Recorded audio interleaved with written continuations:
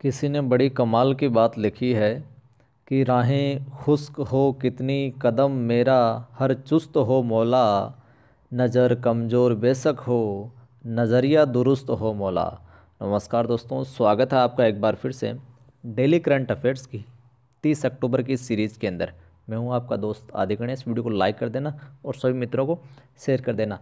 तेईस से लेके तीस अक्टूबर तक की जो करंट अफेयर्स की पीडीएफ है, वो कुछ ही देर में टेलीग्राम चैनल में डाल दी जाएगी, जिसका नाम है जो यहाँ पर दिया हुआ आप ज्वाइन कर सकते हैं।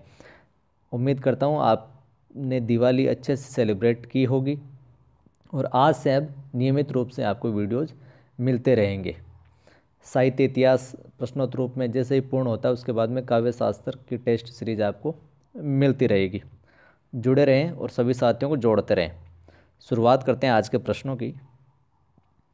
हाल ही में भारत और किस देश के बीच द्विपक्षीय अभ्यास शक्ति आयोजित किया जाएगा? द्विपक्षीय अभ्यास जिसका क्या नाम है? शक्ति।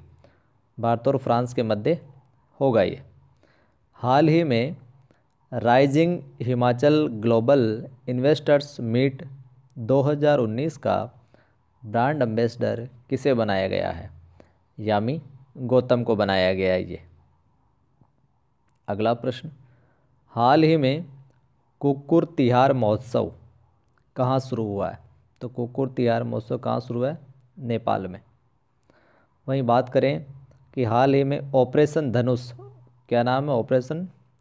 धनुष किसने लॉन्च किया है? भारतीय रेलवे ने।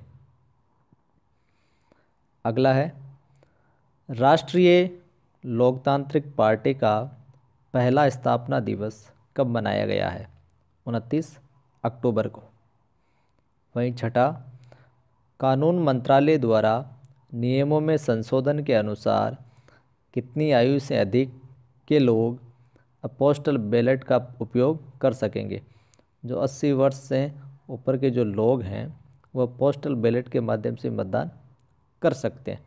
शुक्रिया दोस्तों, और मेरे दूसरे चैनल आदि की आवाज़ पर भी मोटिवेशनल वीडियोज़ डाले जाते हैं।